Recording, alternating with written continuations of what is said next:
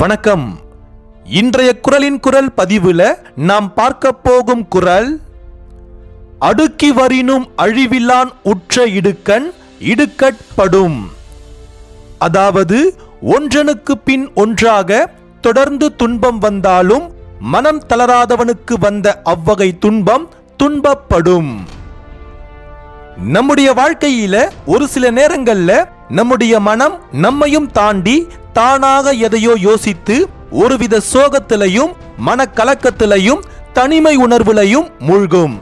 காரணம் அடுத்தடுத்து நமக்கு ஏற்படக்கூடிய சில பிரச்சனைகள். அந்த சமயத்துல நம்முடைய ஆழ்மனசுல ஏதோ ஒரு வெற்றிடம் வெறுமை இனம் புரியாத ஒருவித தவிப்பு நமக்குள் உருவாகும். இவை எல்லாமே மன ரீதியான குழப்பங்கள் மற்றும் பிரச்சனைகள். உடல் ரீதியான பிரச்சனைகள் வெளியே தெரியும். ஆனா இந்த மன ரீதியான சில பிரச்சனைகள் வெளியே தெரியாது. வெளியே தெரியவில்லை என்றாலும் ஏதோ சில இழப்புகளும் பாதிப்புகளும் மட்டும் தொடர்ந்து நமக்கு ஏற்பட்டு கொண்டே இருக்கும். நாம வாழக்கூடிய வாழ்க்கையில நமக்கு எவ்வளவு பெரிய பிரச்சனைகள் வந்தாலும் எத்தனை பிரச்சனைகள் வந்தாலும் நாம திடமனதோடு இருக்க வேண்டும். மனக்கலக்கமோ மனக்குழப்பமோ நாம அடையக்கூடாது.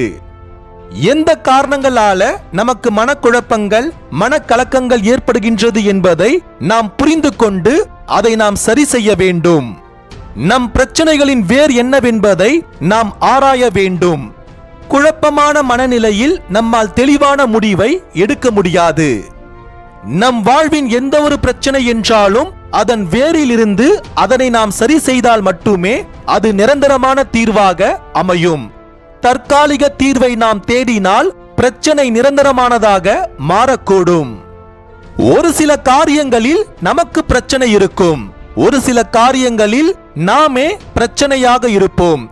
இதன் இரண்டின் வேரை கண்டறிந்து அதை சரி செய்வதற்கான சரியான முயற்சியை நாம் எடுத்தால் மட்டுமே நம்முடைய வாழ்வில் நாம் எதிர்பார்க்கக்கூடிய மாற்றங்கள் ஏற்படும். எத்தனை பிரச்சனைகள் நமக்கு நேரிட்டாலும் நம்முடைய மனம் தெளிவாக இருந்தால் மட்டுமே அந்த பிரச்சனைகளுக்கான தீர்வை நம்மால் கண்டறிய முடியும். மனம் தளராமலும் மனம் குழம்பாமலும் இருந்தால் மட்டுமே அது சாத்தியமாகும்.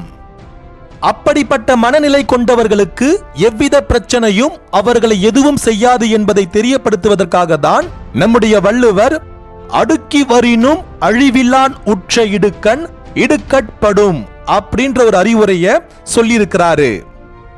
அதாவது ஒன்றனுக்கு பின் ஒன்றாக தொடர்ந்து துன்பம் வந்தாலும் மனம் தளராதவனுக்கு வந்த அவ்வகை துன்பம் துன்பப்படும். வாழ்க்கையில எது நடந்தாலும் திடமனதோடு உறுதியாக நாம் இருந்தோம் என்றால் நமக்கு வரக்கூடிய எந்த பிரச்சனைகளும் நம்மை ஏதும் செய்யாது. மீண்டும் ஒருமுறை இந்த சிந்தனைகளை தனிமையில் சிந்தித்து பாருங்கள். இன்னும் நிறைய காரியங்கள் உங்களுக்கு விளங்க ஆரம்பிக்கும். நன்றிகள்.